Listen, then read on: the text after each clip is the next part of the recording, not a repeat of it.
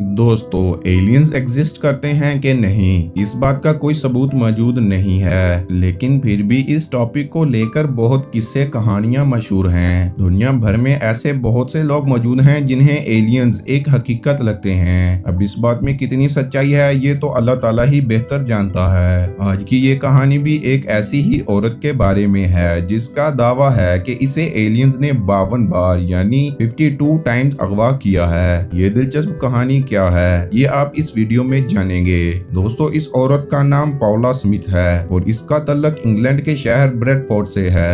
1982 میں جب پاولا 6 سال کی تھی، تب یہ اپنی کچھ دوستوں کے ساتھ کھیل رہی تھی۔ تبھی اسے کسی عجیب سے احساس نے جنگل کی طرف کھینچنا شروع کر دیا۔ اب یہ اس کا دعویٰ تھا یعنی یہ اس کی سنائی ہوئی ایک کہانی ہے۔ اس کا کہنا تھا کہ جب یہ جنگل کے کافی اندر تک چلی گئی، تب اسے ایک عجیب سی شکل کا سپیس کرافٹ نظر آیا، اس کے مطابق اس عجیب سے سپیس کرافٹ کا بالکل بھی شور نہیں تھا۔ پاولا کا کہنا تھا کہ وہ اس سپیس کرافٹ کو دیکھ کر بہت زیادہ خوف زدہ ہو گئی تھی۔ پاولا خوف کے مارے اپنی ماں کے پاس جانا چاہتی تھی، لیکن وہ یہاں سے بھاگ نہیں سکتی تھی۔ کیونکہ پاولا کو ایسا محسوس ہو رہا تھا جیسے زمین نے اس کے پاؤں جکڑ لیے ہوں۔ دوستو پاولا کے مطابق پھر اچانک سے یہ بے ہوش ہو گئی اور جب اس کی آنکھ کھولی تو یہ اپنے گھر کے بیڈ پر لیٹی ہوئی تھی۔ اس کے گھر والوں نے اسے بتایا کہ اسے کوئی اجنبی آدمی گھر چھوڑ کر چلا گیا ہے۔ پولا کو کچھ سمجھ میں نہیں آ رہا تھا کہ اس کے ساتھ کیا ہوا ہے۔ اسی لیے اس نے اپنے گھر والوں کو بھی کچھ نہیں بتایا۔ پولا کا کہنا تھا کہ بس اسی دن سے ایلینز نے اسے بہت بار اغوا کیا ہے۔ صرف یہی نہیں، بلکہ پولا کا دعویٰ ہے کہ وہ بہت بار یو ایف او میں بھی سفر کر چکی ہے۔ اب یہ عورت لوگوں کو بیوقوف بنا رہی ہے یا پھر اسے